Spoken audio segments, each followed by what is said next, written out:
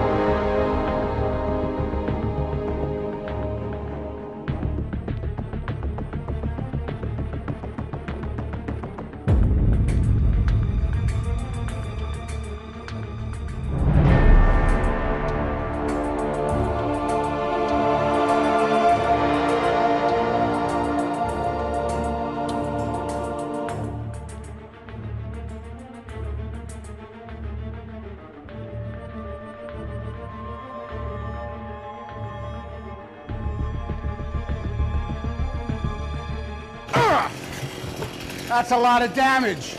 How about a little more?